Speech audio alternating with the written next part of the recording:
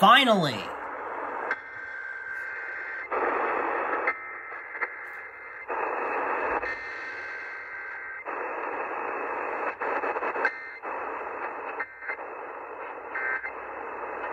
Pittsburgh Extended Operational Area. This concludes this emergency alert system test. Sunday mornings at 6 a.m. on 100.1 FM Tuesday, mostly sunny. You finally tested after being 30 minutes late. You were too busy with your whatever you were doing, the, the amplify thing, show, whatever you were doing. 9.30, 9.34 now. Took you 30 minutes. I don't know why. Oh yeah, and also, one, one quick thing I will say.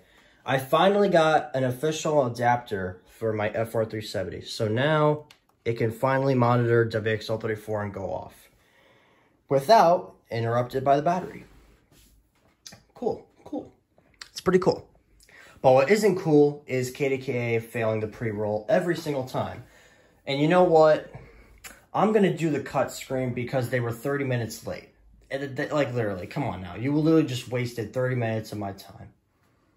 Like, come on. That That's just, that's unacceptable. And for that,